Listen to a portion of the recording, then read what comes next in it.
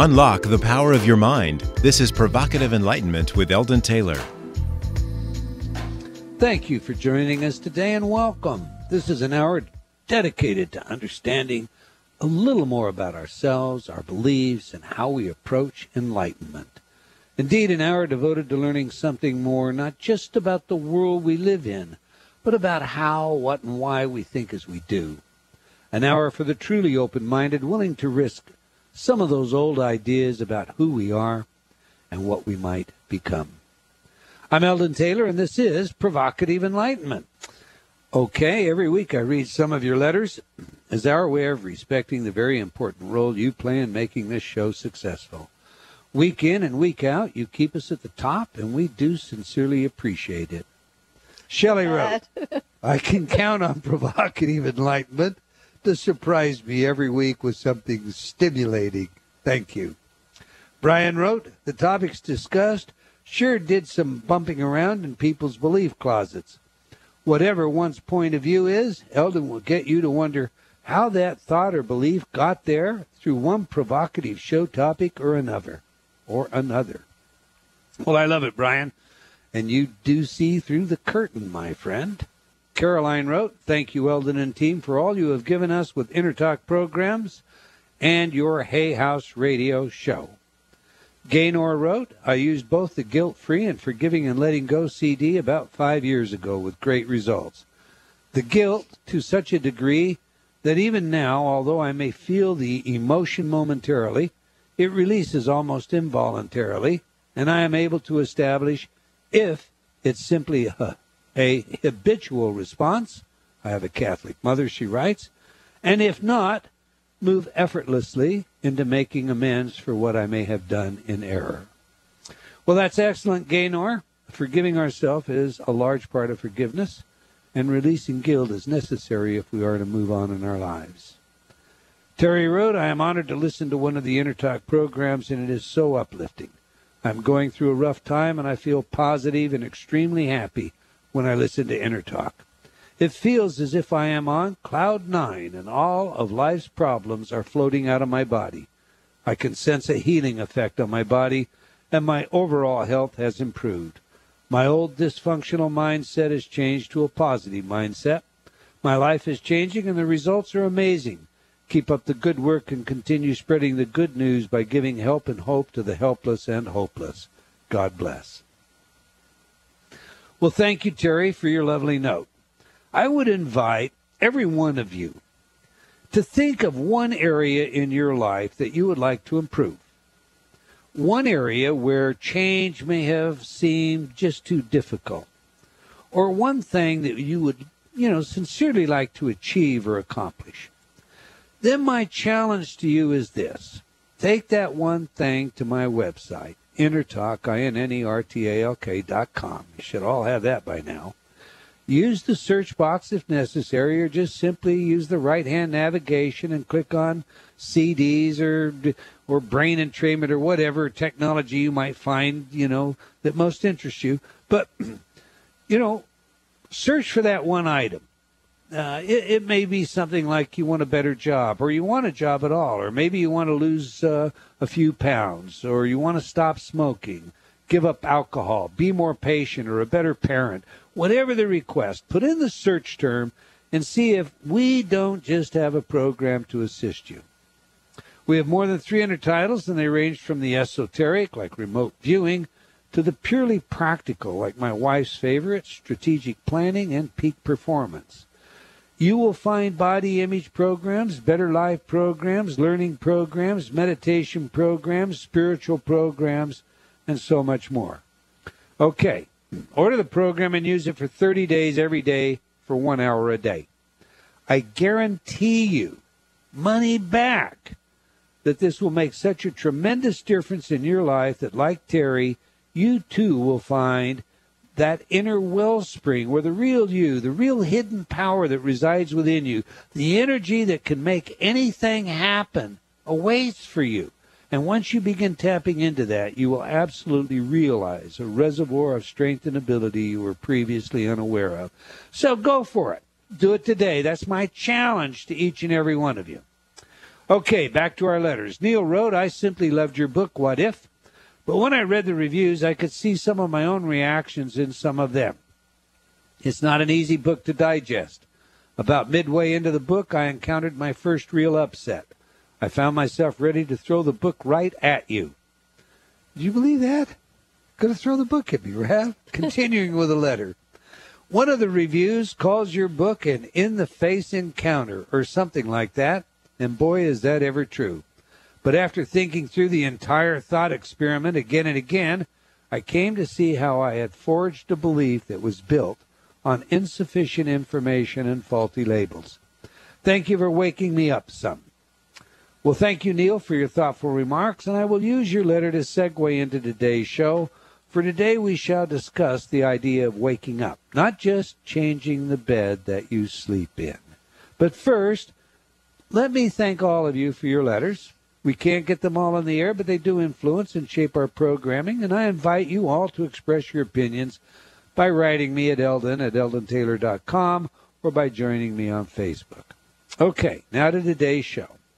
What if the challenge of self realization? You know, I asked my lovely bride of nearly 25 years now, just last week, if I was doing anyone a service by blowing the whistle on nonsense. For those of you who are longtime listeners to this program, you know that there have been several occasions that an author has said something on the air that wasn't factually correct or was questionable, and instead of letting it go, I brought it to everyone's attention. And of course, there have been those so called guru authors whose name is somehow, I guess, supposed to give us goosebumps. Uh, that have come on the show and touted nonsense, and I have called them on that as well.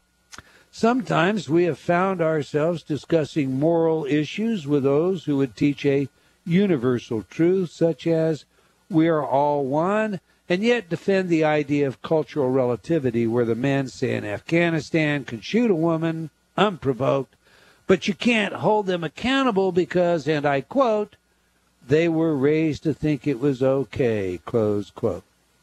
Well, the long and the short of it goes like this I have not used my show or written my books with an eye to winning friends, but rather to the notion of waking up. Nearly 30 years ago, I created Progressive Awareness Research, and it remains still focused today on waking up those who are ready to wake up. So back to my story. I asked Ravinder if she thought it was a service or a disservice to call a spade a spade. I mentioned a couple of specific authors who write much better fairy tales than anything else, but they call the book science and self help. My pretty bride snapped an answer off the tip of her tongue that says it all and does so with the power of sacred prose. She simply said, Waking up is not about changing the bed you sleep in.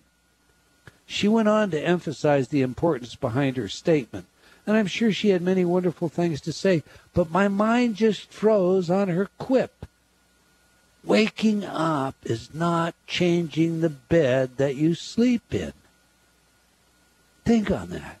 Powerful, succinct, and so true. When I wrote What If, the challenge of self responsibility, I wanted to do through thought experiment, through thought experiments. Um, so the process was very real and internal. What I wanted to do was invite the reader to truly examine their lives and their life's web of beliefs. For as I've said before, life beliefs are not standalone items. Every belief is attached to another, and together they make up part of the total web that is all of our beliefs. And this web can definitely entrap us, holding us hostage to beliefs that are inconsistent, dissonant, self destructive, and so forth. Worse yet, this web can limit everything we will ever be able to experience all the joy, all the success, and all the fulfillment you may be entitled to. We acquire our beliefs in many ways. Those of you that have followed me, my writings, or this radio show know that beliefs come by way of enculturation, some as a result of our parents and peers, many through the entertainment we choose to watch and mirror, still more as a result of the direct intention to convince us propaganda. We find propaganda everywhere Arguably, propaganda exists in our religious institutions as well as with government and business. It seems nowadays that everyone has something they wish to sell us some product or policy or platform or idea. Add to this mix the natural way in which we are wired, hardwired from the factory, so to speak, and you begin to realize an even deeper abyss when it comes to the information we believe and the honest way in which we obtain that belief. For example, in the presence of an authority, we are wired in such a way that our discriminating centers in the brain turn off. Literally, virtually, shut down.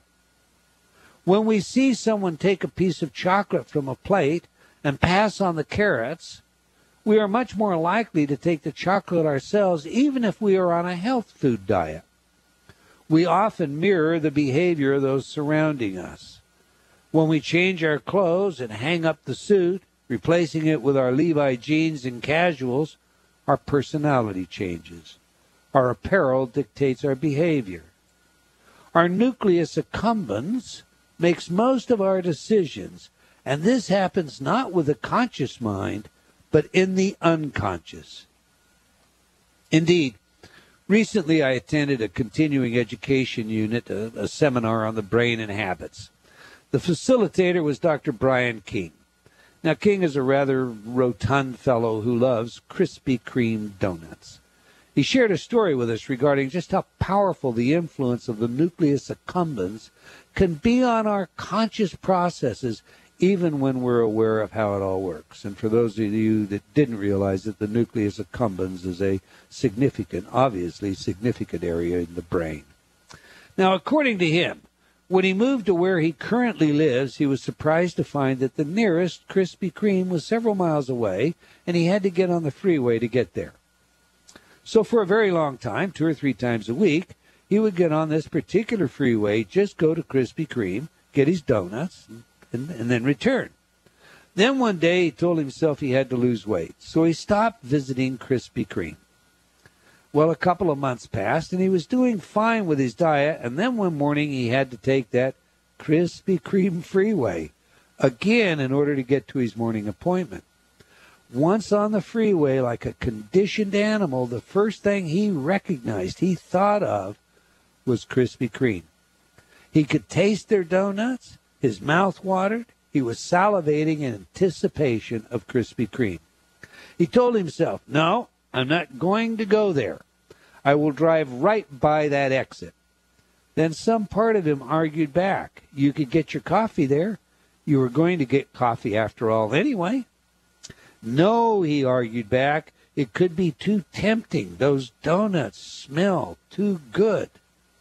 Then his mind spoke of how he might get only one donut, for after all, one donut wouldn't hurt anything. But then he argued back, who could just get one Krispy Kreme donut? Well, to make a long story short, he continued this argument until he realized that he had somehow automatically exited the freeway and was parking in the Krispy Kreme parking lot. Research shows us that an MRI tech can know what we will do well in advance of knowing for ourselves exactly what we will do, and in some instances, as much as seven seconds before we do know. In other words, the subconscious the nucleus accumbens is making most of our decisions. It is for exactly this reason that what we have in our subconscious, our beliefs, our predispositions, are what we have chosen, what we want, what supports our desires and purposes. Unfortunately, much of what we believe is again dissonant and self destructive, even when we don't realize it. Enter the reason I wrote What If. I reasoned the best way to expose beliefs that fail us is to set up a series of thought experiments. And that is just what I did. Now, some of these thought experiments are definitely in your face and they are designed to be so. They are also introductory examples of how to think about thinking So the experiments in no way represent all possibilities, my opinion, your opinion, right or wrong, but a process that is involved in thinking about thinking. As such, many who read the book have only praise for it. And some, well, they can throw it at me well before they ever finish reading it. It is controversial, it is provocative, and it is designed to be that. And it's not a book for those who believe they already have it all down, they know it all, their guru has waved his wand, and they are sainted. And what's more, they are comfortable where they are. So if you are comfortable and you don't really want to challenge any of your own beliefs, please let's stay friends. Do not buy or read the book, please. What would you like to add to that, Rav, before we get into the contents and the release of the paperback version of what does that mean? What if? And you conclude your introduction by saying, Don't buy the book, remain my friend. well, that's like that, that is that is unique. That is totally unique. But you know, you are correct. The book is incredibly provocative. It um, there's loads of thought experiments in it. Some of the thought experiments I think of are just offer delicious food for thought. You know, there are some things that you just take away and you mull over and you wonder what you would do and all of that. There are some thought experiments. I know when I was editing the book, because whenever you write a book, I will read it oh, about 10, 15 times in the process of editing and checking. And there were certain pages I marked up with red and said, no, no, no, no, no way. But I ca- carried on working on it. I worked on it and I worked on it. And you're right, it, it is, um, it doesn't try to tell you what to think, it just challenges all of the thoughts that you have the fact is, it is so easy to get. But you know, the really interesting thing, I, I, when you say that, you see, if you challenge somebody's thought, and and it rubs them wrong, and and you had your own rubs. I mean, you know, I you, did. You're anchored to a belief. Okay, you have this belief. It, you, you're vested in this belief, and you know, you know this is the only right way, and then you you you you start processing this thought experiment, and as you start into it, it's, it's slapping you in the face. It's challenging that belief. There is, seems to be this tendency to believe that, you know, well, I'm the bad guy because I I set up this experiment, and and I am challenging you, and that makes me, you know, I must believe the opposite, and and and that's not really the case. The case is in order to conduct a good thought experiment, you have to be able to play both sides. You have to be the protagonist and the antagonist, and somewhere between thesis and antithesis, we find synthesis. I think what happens is, you know, some people, most of us actually, you know, I, I can't even say some people, but we all have certain beliefs that we are really, really attached to. And the whole purpose of your career, everything that you have done, the radio show, the provocative enlightenment, is about waking people up, not just giving them a different bed to sleep in. And I love that, by the way. We you don't. That. I yeah. I thank you. That it sums it up. You know, progressive awareness. That's where the name came from to make people progressively aware, to wake them up to their potential, to wake them up to the truth. And the fact is, we have so many things that will trip us up and you know just our psychology the herd animal aspect of who we are. It's really hard to think for ourselves but the only way to enlightenment is to think for yourself. So for those people who have beliefs that they're really attached to there are some that aren't going to let those beliefs go. And so they're going to blame you and say um, they want to throw the book at you. You see and i had some of my moments I would encourage people to persist. If you don't take it personally, um, as in an attack from Eldon to you, because that's not what it is at all. You know, if you really see it for what it is, he is playing devil's advocate in some places, but it's designed to shake you up. It's designed not to give you the answer, because no one else can give you your answers. It's designed to help you find your answers for yourself. So it is, it can be a very difficult book to read. I think it's a crucial book to read um, if you want to discover who you, if you want to get beyond you know that that that's it. I mean i see people getting stuck. You know they may have been brought up catholic and they reach a point where they want to push that all aside so they're going to embrace something else. But they embrace this something else whatever it may be and they just get trapped in a different place. They really haven't progressed. They've still given their power away. taken on another bed. In their desperate effort to escape they have grabbed whatever felt comfortable or safe. And it is so easy you know, to to hear the things that we want to hear. It is so easy to be supplicated by that warm, tender, everything is okay, you're right where you're supposed to be, life is just fuzzy and it's just wonderful. It, it, it is so easy to be taken in by that. And it's not that that's not true, it's that it's not a complete truth. There you go. It's not the whole picture. You know, it, it, it, it is a wonderful fairy tale, uh, but you know, life happens. Real life happens. There are pains, there are agonies, there are decisions in life. You know, we're, we're not objects that just sit on a shelf like a vase and enjoy the atmosphere. We are participating, we are thinking uh, agents, constantly interacting with our environment. And the nature of that is our environment's not a vacuum. So, you know, we are we are every day looking at what many of us uh, consider to be challenges. They are they are the issues that give strength to our character. They are the opportunities for us to grow and become all that we can be. But they are not soft, silky pillows, all of them.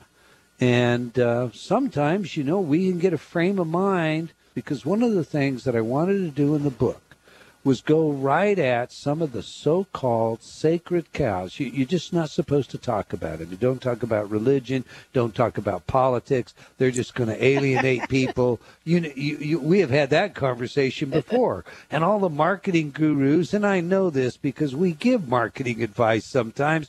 All the marketing gurus will say, "Boy, you don't want to do that." Because if you do that, people will look at what you do on the basis of the challenge that you put out there, you know. And and and of course, again, what we really want to do is call everyone to wake up. And we're really talking about the nature of knowing and of waking up. So I want to remind you to like our Facebook fan page for Provocative Enlightenment Radio.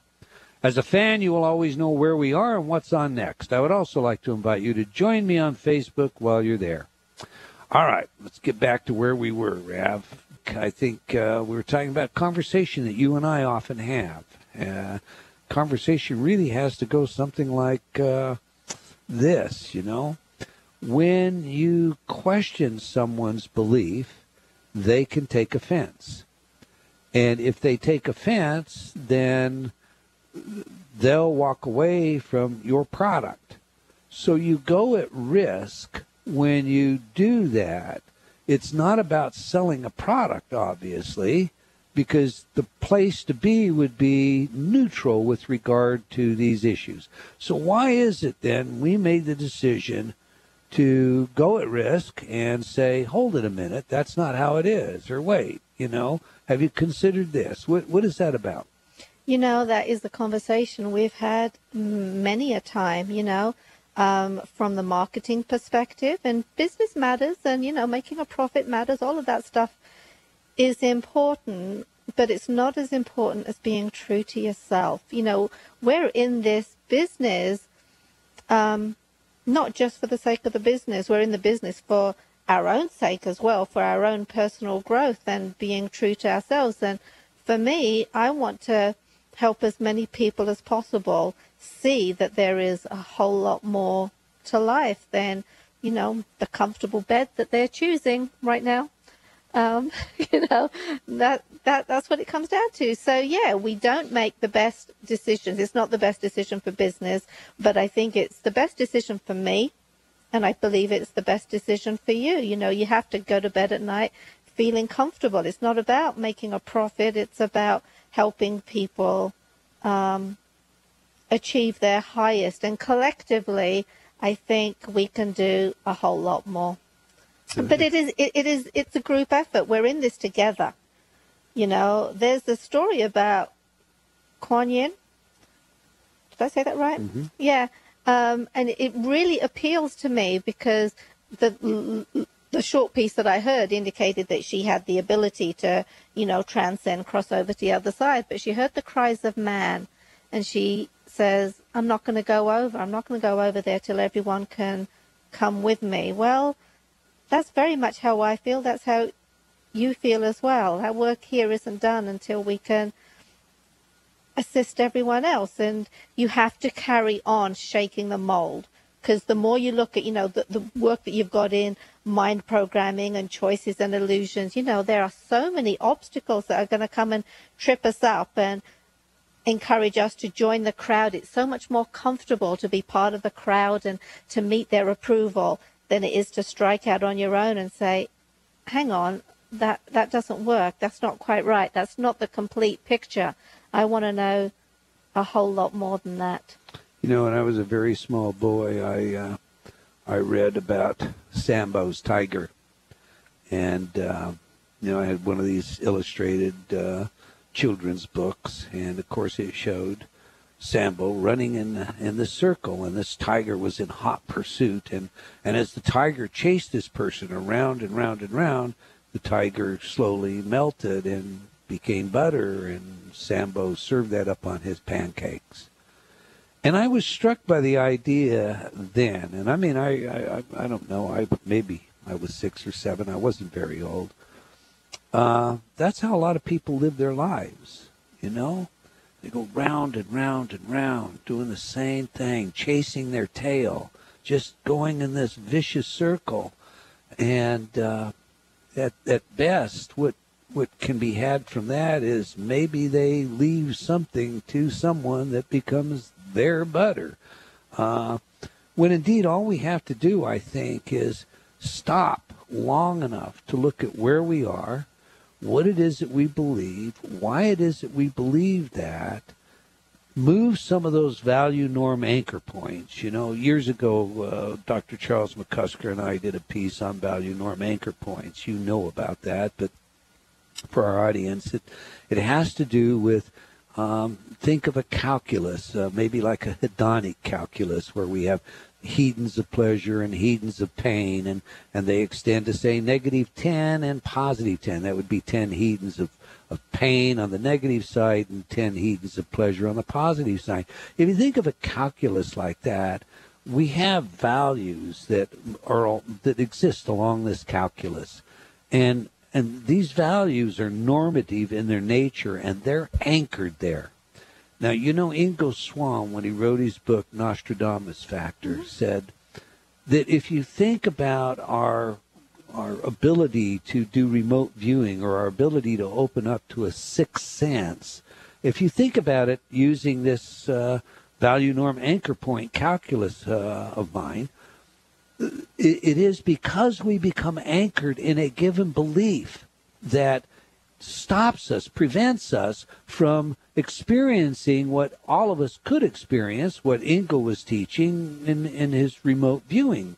Uh, there are so many areas and so many people that I've talked to in, in my lifetime who can step one more step. You, you think of it as the stairway, who can mm-hmm. step one more step up and everything in their life changes.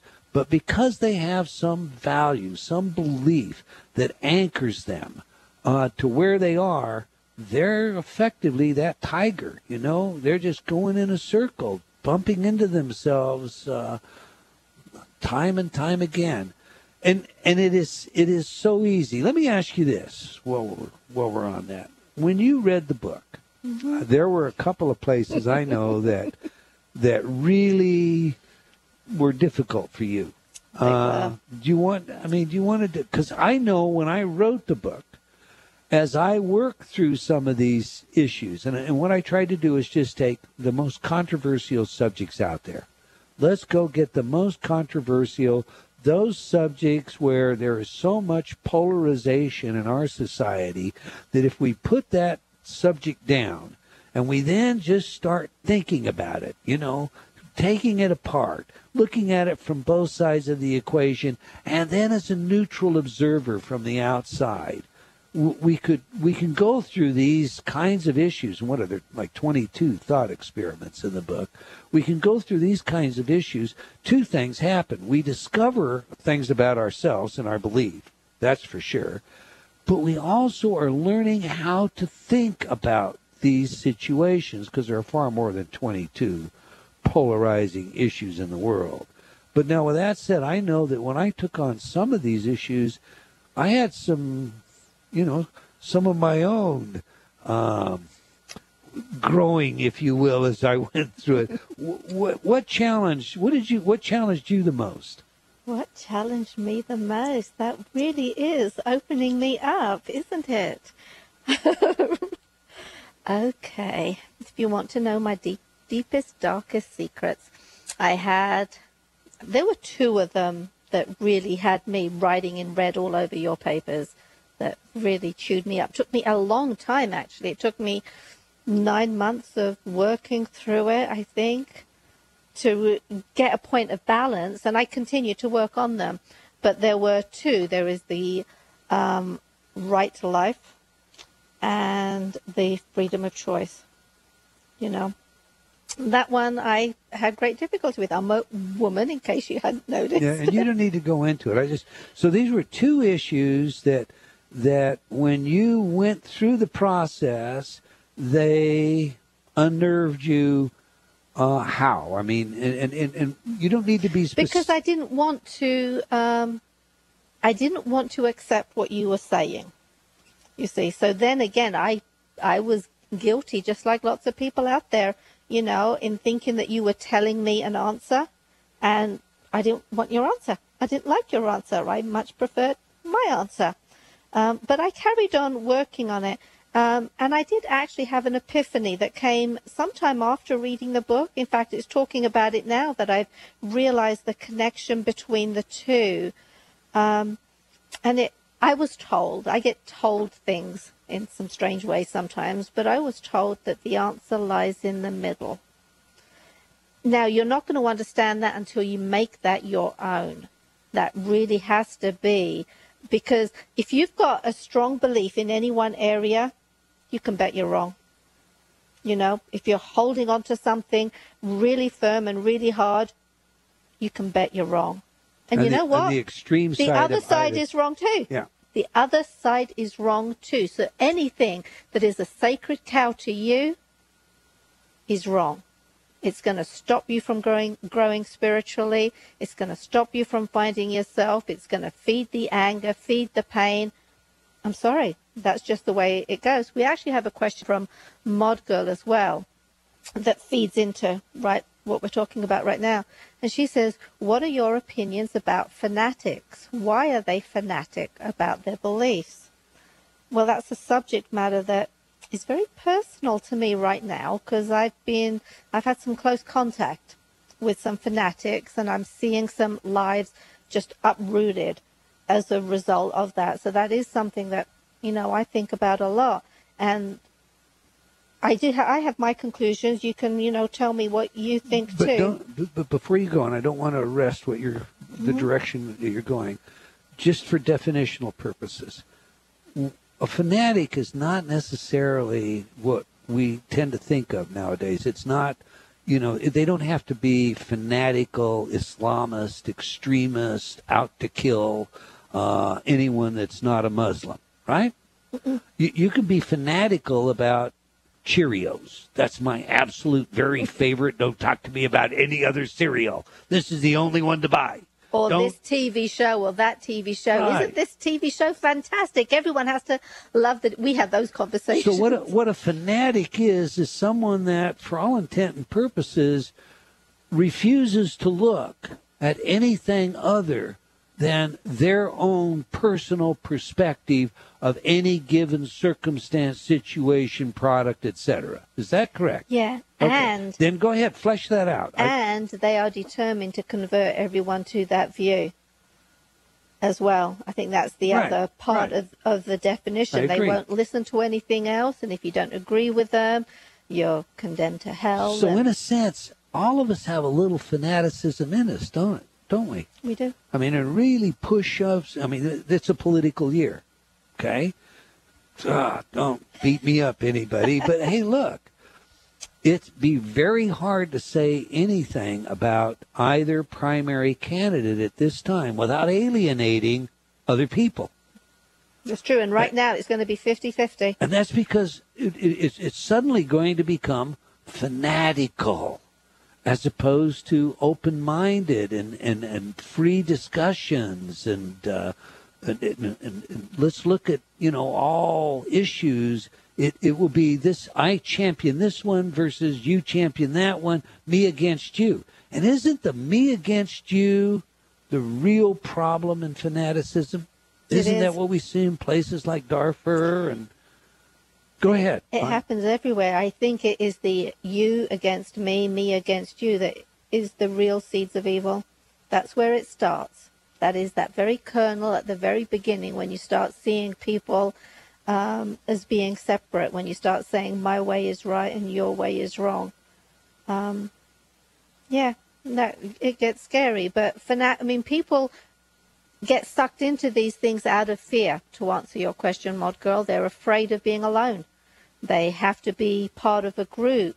They have to have power. They get their sense of esteem, their sense of being more special than everyone else because they have the right answer and that is all there is to it. And I find that all very, very sad. As I said, it's a subject matter that has been impacting me very, very personally You, you know. I, and you know this. I was asked um, not long ago, what was what's what's the most profound book? What book of all the books that I have ever read had the greatest impact on me? And I, and I keep that book, as you know, near me, near my desk, uh, wherever I am, uh, most of the time. And the book is The Politics of Experience by R.D. Laing. And and Laing says this, and, and it so accurately sums things up. This this really became a mantra for me years ago when I ran into this text in a philosophy course in, in university, uh, and and it stays with me to this day. But he says this: Given the conditions of contemporary civilization, how can one claim that the normal man is sane? The condition of alienation, of being asleep, of being unconscious, of being out of one's mind is the condition of the normal man. Society highly values its normal man. It educates children to lose themselves and to become absurd and thus to become normal. Normal men have killed perhaps a hundred million of their fellow men in the last 50 years. We are not able even to think adequately about the behavior that is at the annihilating edge, but what we think is less than what we know. What we know is less than what we love. What we love is so much less than what there is. And to that precise extent, we are so much less than what we are. How do you get people to realize, Ravinder, that this condition of self alienation, this this underlying, undergirding uh, imprinting that has taken place in each and every one of us automates us. Uh, we run automatically as a result. So you change your clothes, you change your behavior. You bring up a subject, and the subject has a a tender spot in it, and a defense surfaces. You find yourself uh, in a group, and someone gives you an uncomfortable look, and you react to it. How is it that you? What, what is it that would be necessary to communicate the possibility that exists if we all just went back to where we were when we were children? and we were innocent and we were just being us. We we were just being as opposed to mirroring and pretending and automating. What would it take to do that? Would we not have to think through all of the this morass of, of this web of all these beliefs, all these ideas that we hold in our head in order to get back to where we were before we surrounded ourselves with this web? Maybe that's the purpose of life itself, though. You know, you come in all innocent and pure and whatever, and then you experience the world, and maybe enlightenment is coming through all of that and regaining your own sense of self so that you can become a whole lot more. Reclaiming the innocence. Yeah. Yeah, I think now. Now let me ask you this: Al, you and I get we have these wonderful conversations, and I'm afraid right this minute uh, this is a totally unrehearsed, and we are having a conversation, and our listeners are. But tell me what what do outsiders, what do experts say about this book? Well, first of all, I was going to say there's no such thing as an expert because you're all your own expert. Yeah, I know. Um, X is a has been, and opinion... spurt is a drip under pressure. but the opinion of some of the people that I really respect. Mm-hmm. Okay, that's a whole different way of saying it. Michael Bernard Beckwith.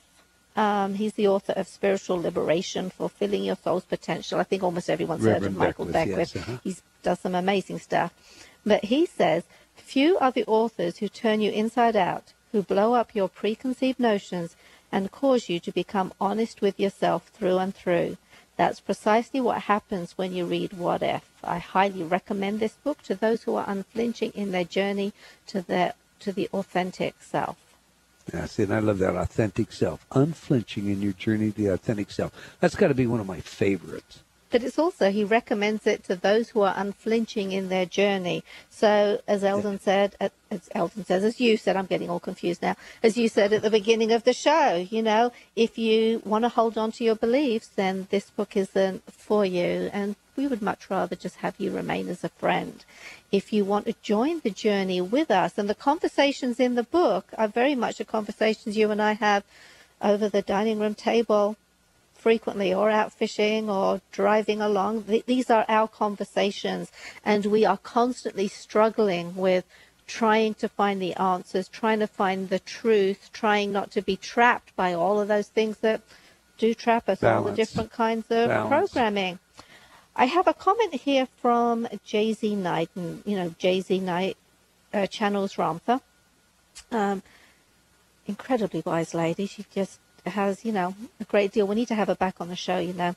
But what she says is in a world where governments, corporations, and religious institutions compete to capture our attention and then mold our thoughts about ourselves, Eldon's keen insight into this struggle is a valuable asset for anyone desiring to rise above the fray and regain control of their own mind the power to be confident and comfortable with oneself as an individual without blaming others brings great freedom. Well done.